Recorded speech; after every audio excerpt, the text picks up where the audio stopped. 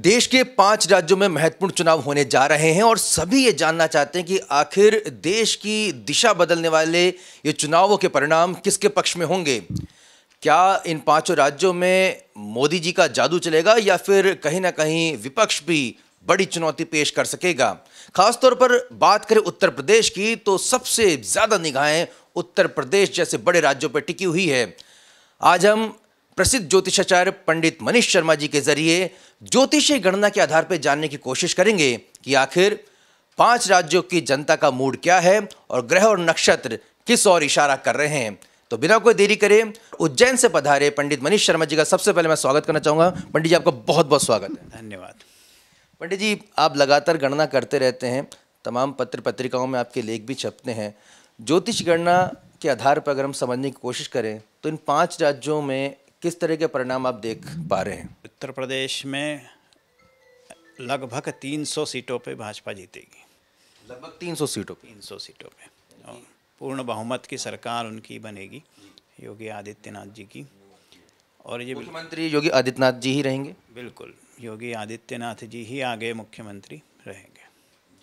तो ये बड़ी भविष्यवाणी यहाँ पर पंडित जी कर रहे हैं। पंडित जी, कई बार आप लोगों के ऊपर इस तरह के आक्षेप लगते हैं। हमसे भी कहा जाता है कि देखिए, सब एक तरफा भविष्यवाणी कर रहे हैं। तो मैं ये समझना चाहूँगा कि ऐसे कौन से ग्रह नक्षत्र हैं जो इस समय उत्तर प्रदेश में योगी आदित्यनाथ जी को और भारतीय जनता पार्टी को बलवान कर रहे हैं? और आपको ये कहना पड़ रहा है कि ज्योतिषी गणना के आधार पर भारतीय जनता पार्टी उत्तर प्रदेश में विजयी होगी। देखिए, योगी आदित्यनाथ जी की जो राशि है, आदित्यनाथ जी की, वो है मेष राशि। मेष राशि से अभी द्वितीय राहु गोचर कर रहा है और इसी की वजह से उनको भारी बहुमत और विजय मिलेगी। 10 मार्च को जब रिज़ल्ट आएगा, परिणाम आएगा, उसमें राहु की वजह से ही जो अन्य पार्टी हैं, वहाँ पे जो क्षेत्रीय पार्टी हैं, उनको नुकसान होने की पूर्ण संभावना है। दूसरा जो शनि का गोचर है, मकर राशि में और फरवरी में तीन त्रिग्रही चतुर्ग्रही और पंचग्रही योग बनेगा मकर राशि में। इस मकर राशि की वजह से भी उत्तर उत्तर प्रदेश में जो योगी जी हैं, उनकी राशि के अनुसार उनको विजय प्राप्त होगी। तो बड़ा सबसे जो बड़ा राज्य है, उत्तर प्रदेश, जहाँ पे सबकी निगाह टिकी हुई है, वहाँ पर पंडित जी के कहना है कि योगी आदित्यनाथ बहुत ही आराम से सरकार बना लेंगे 300 के आसपास सीटें मिलेंगी।